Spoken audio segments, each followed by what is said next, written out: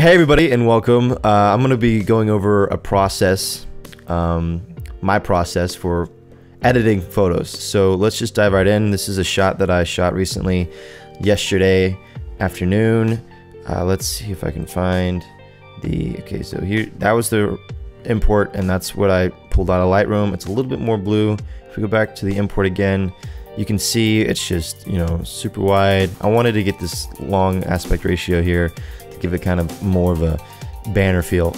And um, yeah, this is uh, a guy. His name is Terrence. Um, he, he was modeling for us today. He did a good job, and um, so you can see this is uh, what I did. I just basically cropped it.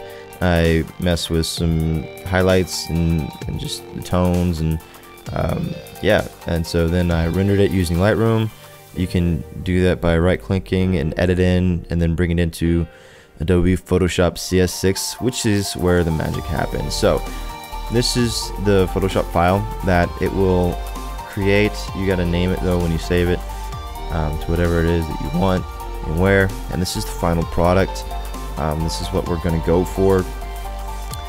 This is not something I necessarily had in mind. It was just kind of a process like, mm, what do I think it needs? And then I kind of just added it and then I, you know, so um, it, it's kind of in the order that um, you see the layers in. So that's that's the kind of order I added stuff in.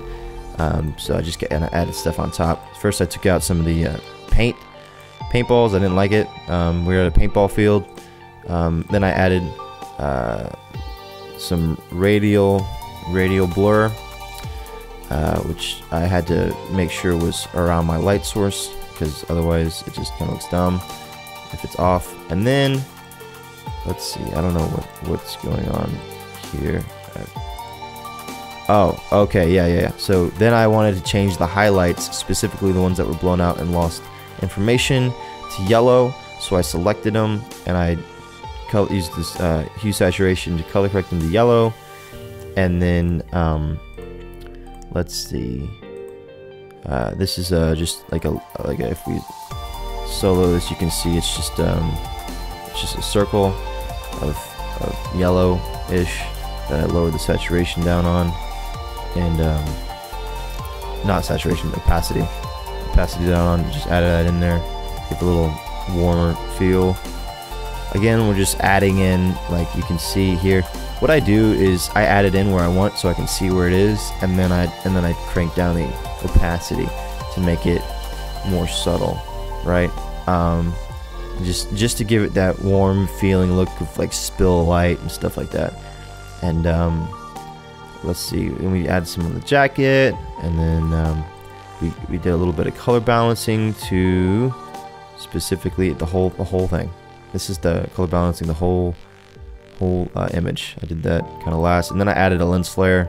Of course it wouldn't be an image banner if you didn't have lens flare.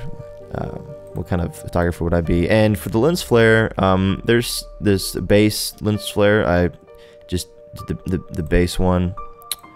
Um, right, so that's that's what it originally looks like, and then you add that in with the with the color correction. Uh, I think I took out some some of the green spots um, that I thought were a little bit too much. Um, just making it more subtle. Subtle is key, I think. Um, that's that's a big part of it. Um, let's see let us let's see what else we got. And then of course the logo. Um, and the logo for some reason I cannot see right now. There it is. Um, yeah and so that doesn't look right. So I must have turned off something turned on something that I didn't mean to. Uh, yeah this one I'm gonna ditch and I'm going to leave that one in there. This one's too much. This one I didn't like. And so because of the way you rasterize and use the sun flare, like, oh, maybe I do want to use it. No. No, I'm not sure. I'm not sure. All right, and so there, there it is. There's the final, final uh, image. Um, it looks looks pretty good. Oh, and I don't know here, here's some dirt that we added. We added some dirt in the air. Um, so if you zoom in real close, it just kind of gives it more of a, a grungy feel. Um, I added two layers of dirt one that's in focus and the one that's slightly out of focus blurred um, to give it depth. And sorry, my voice. Um, and uh, so I also skipped over the part where we added dirt on his jacket, and that's going to be under here. And that's spill forest. All this spill forest. Um, let's take away layers until I can find the jacket dirt.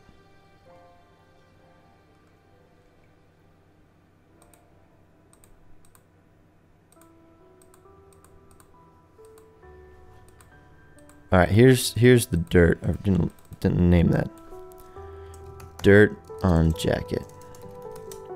So yeah, as you can see, we added some dirt on his jacket, on his clothes. He, he's kind of a cleaner guy, so we had to dirty him up a bit.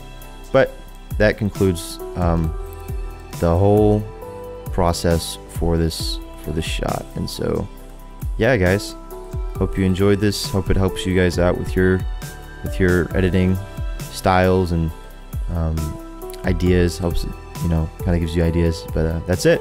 Thanks so much for watching.